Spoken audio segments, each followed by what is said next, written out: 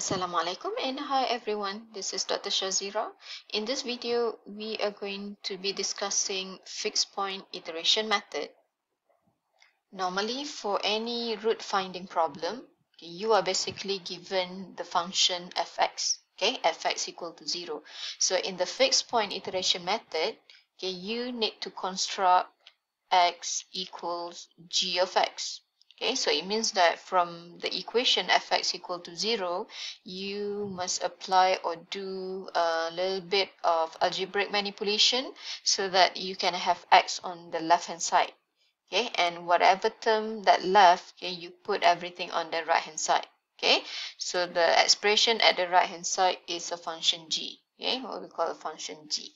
So from fx equal to 0, uh, you need to construct on your own basically. Okay x equals gx all right so for example if we take a function um, fx equal to 0 so assume that your fx is x square minus 2x minus 1 equal to 0 okay? So if we take out x squared to be on the left hand side, then you have 2x plus 1. Okay, so therefore, if you want to take, if you want to have x, only x at the left hand side, so it means at the right hand side, you will have 2x plus 1 power of 1 over 2 or the square root of 2x plus 1. Okay, so now you already have expression in the form of x equals gx. But you also can see there are a few other ways to construct your gx, okay, in the sense that okay, we could have x squared minus 2x to be at the, uh, at the left hand side, okay, in the first place. So at the right hand side, you will have 1. And then if we factor out x, then we have, uh, in the bracket here, we have x minus 2 at the right hand side equals 1. So therefore, if we want, if we want to isolate x at the left hand side, then the rest would be 1 over x minus 2 at the right hand side. This is also, you know, x equals gx. And what else? Okay, so see, okay, the third form, we could have, you know, 2x equals, at the right hand side, you have x squared minus 1. So therefore, x equals 1 over 2 x squared minus 1. Okay, so this is another x equals gx. So in fact, yeah, you can manipulate, you know, your expression so that um, x become on the left hand side yeah, and everything, and the rest would be on the right hand, uh, the right hand side. Okay, um, so the question now is which of the form of gx here that need to be used in the fixed point iteration method. Okay, so this is your gx, this is also gx, and this is also the gx. Okay, so in the fixed point, in the fixed point iteration method, okay, the gx that you must that you need to choose must comply to this criteria. So g prime of x must be greater or equals to negative 1, but must be less or equals 1. This is what we call the convergence criteria.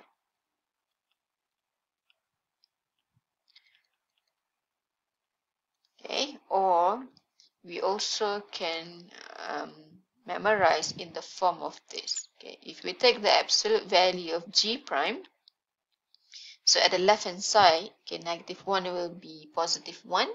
Okay, so everything will be on the right here, less or equals 1.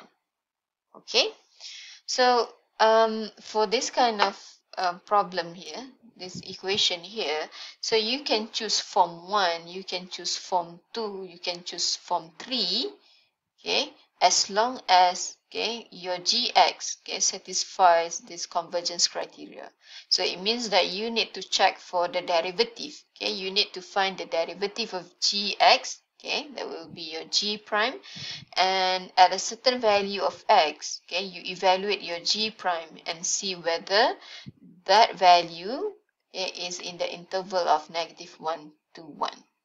Okay, if it is in the interval, then you say that your x is suitable to be used in the fixed point iteration method. If it is out of the interval, then you discard that gx.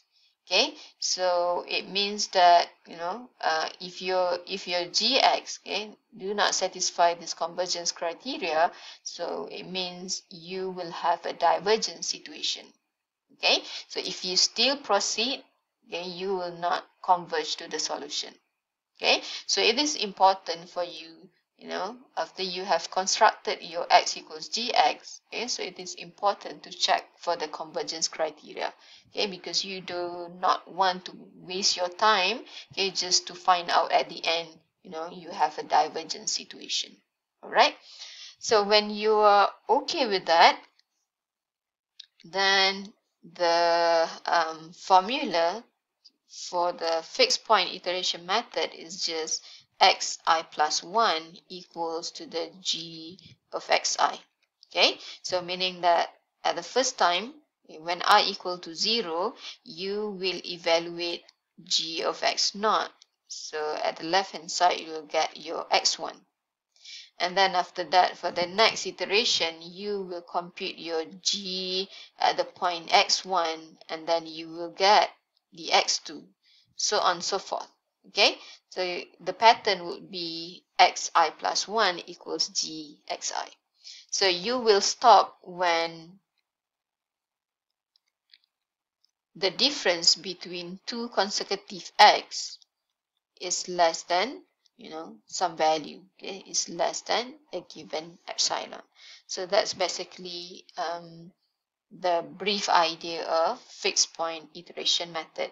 Okay, so we are going to see um, example okay, to illustrate um, the process of uh, calculating you know, or finding the roots using fixed point iteration method.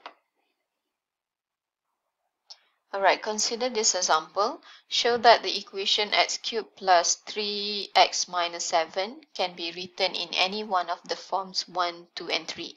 So basically, you just, you know, um, do the algebraic manipulation. Okay, start from this uh, expression here. Okay, rearrange the expression here and there okay, to come out with the form 1, 2, and 3 here. Okay, and then after that, determine which of this form would be suitable for the use of the simple iteration formula. Okay, so simple iteration formula is just another name for fixed point iteration method. Okay, so they are basically the same.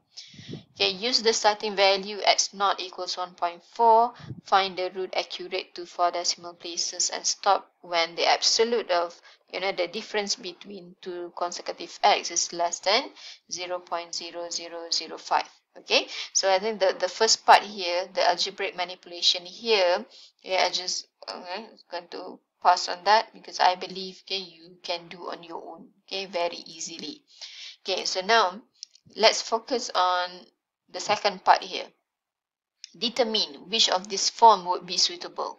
Okay because we can see that this is in the form of x equals gx okay this is also your gx and this is also your gx okay so which of the gx here okay is the correct one? Okay it could be only one here or it could be two or it could be okay uh, all of them. Okay so now we are going to find out. All right so to determine um, the correct gx, so it, you should recall the convergence criteria just now. Okay, so your gx, so for the first one here, so your gx is uh, 1 over 3, 7 minus x cubed. Okay, so first you need to get your g prime of x. So this is just simple uh, differentiation.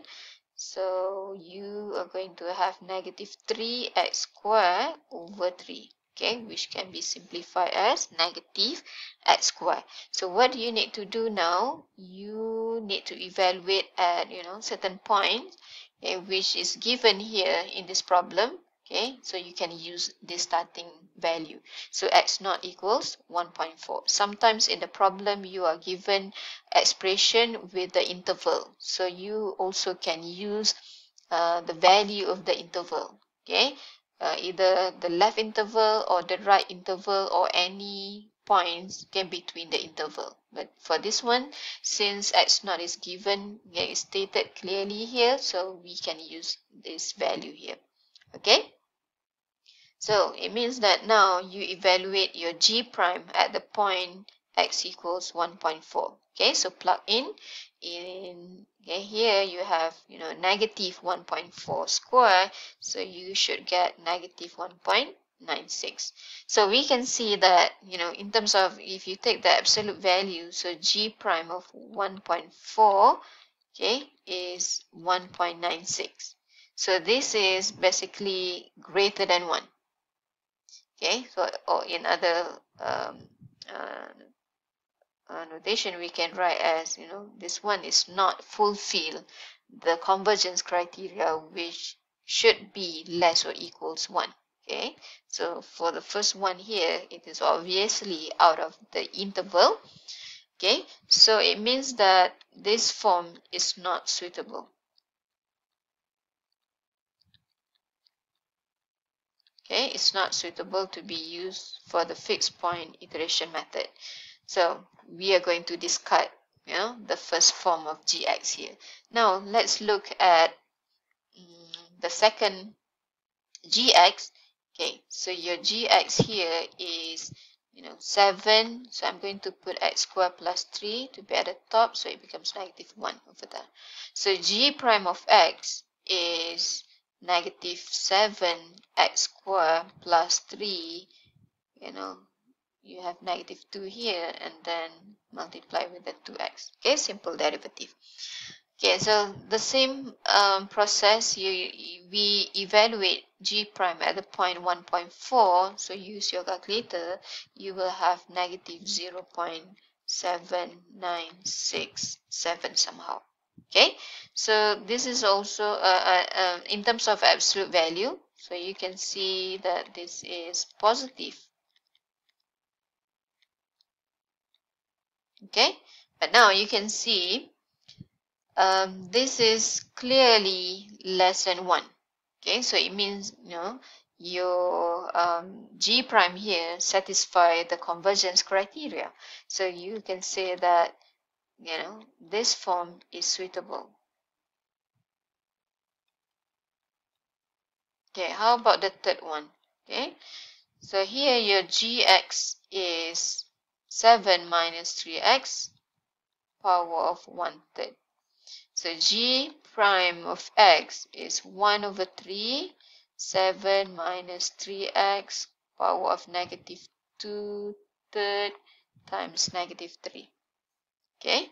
And then g prime of 1.4 so plug in x equals 1.4 in your g prime expression. So you will have negative 0 0.5034 okay so the absolute of g prime here is again less than 1 okay so you can say that this form is also suitable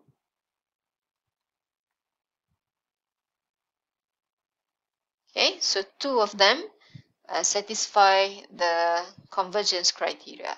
Okay, so now let us proceed with the you know calculation, you know fixed point iteration. So the formula would be xi plus 1 equals gxi. Okay, so now we are going to do for the second uh, expression here. Okay, so consider this one. Okay, so now take your g and put at the right hand side here. Okay put your g not your g prime. Okay put the expression of g. So it means that now you have xi plus 1 equals um, the expression is 7 over xi square plus 3 now form the table. Okay your table consists of column i for the iteration. And then your value of x okay so you have xi. And then the difference between two consecutive x okay to check for the error. So xi minus xi minus 1 okay. So now at the first row when i equal to 0 we have x naught. It is given in the problem as 1.4 okay so at the first row we don't have the you know the difference between two consecutive x yet okay? And then when i equals 1 okay we need to check we need to find x1 okay? So the the manual calculation would be when i equal to 0 so you are basically you know referring to this. When i equal to 0 so you will have x1 at the left hand side. So x1 and then at the right hand side you evaluate uh, the expression at the point x naught. Okay that is the manual calculation. And then you will replace your x naught with 1.4 okay but we are not going to do the manual calculation. We'll use the calculator. Okay and then just present our answer in the form of table. In the calculator we are going to store this expression here. Okay that expression 7 over x squared plus 3 okay so we have the fraction. Okay 7 over x squared. So alpha x square plus 3 okay? Okay so now uh, to get the x1 here so we use this expression here but we evaluate at the point x naught. Okay so press the calculate button. So your x that you want to use is 1.4 okay so convert to decimal. So x1 is 1 1.4113 okay cut to four decimal. And then you can check you know the difference between you know uh, x1 and x0 okay x naught. So you will have 0 0.0113 okay so that value is still greater than the given epsilon. So it means you need to proceed to the next iteration.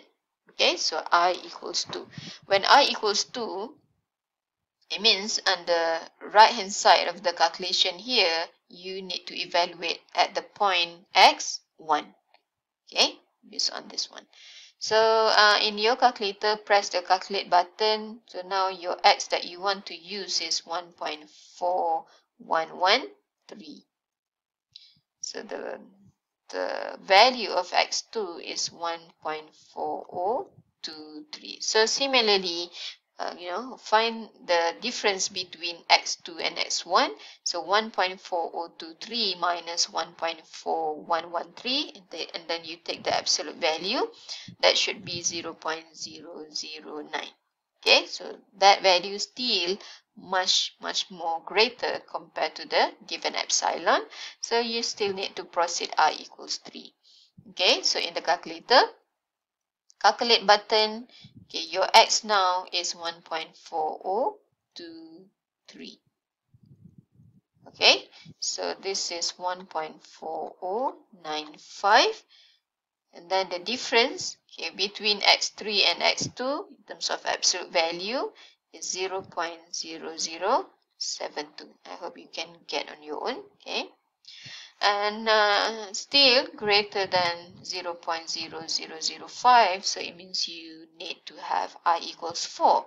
Okay, so similarly, in the calculator, so now you will press for 1.4095. Okay, so 1.403 7 okay and the error would be 0 0.0058 okay still uh, greater than epsilon so it means you still need to proceed. Okay so repeat the process okay until your you know the difference between two consecutive x is less than the given epsilon. Okay? So for this example you are supposed to get the answer up to you know 16 r equals 16 so the value of x is 1.4061 and the error would be 0 0.0004 okay? But uh, even though it is 16 number of iteration but i'm sure you can do it very quickly with the calculator because basically you just you know press the calculate button and then just change the value of x all right so um don't forget you know your last line would be to write down what is the final answer because our intention is basically to have you know the root of um, the function fx in the first place. Okay so write down therefore the roots that we wish to get, which denote by x star, is approximately the latest x that you have in the table, which is x16, that is 1.4061. Okay, so that is the solution when you use the second form here. Okay, so similarly, you do the same process okay, uh, with, you know, this form, x equals 7 minus 3x, 1 third. Okay, so for the second one, eh, I hope you can, you know, proceed on your own for that one. Uh, that is xi plus 1 equals, you know, 7 minus 3xi 1 third. Okay, have your table. Okay, I hope you can write nicely on your paper. You have i, xi, and the difference between two consecutive x. And the first one, i equal to 0, so you will have 1.4. Okay, and then when i equals 1, okay, so you, what you need to do is you need to store this uh, equation now in the calculator okay? And then repeat the same process as here. You are supposed to have so this one is up to 6 eh?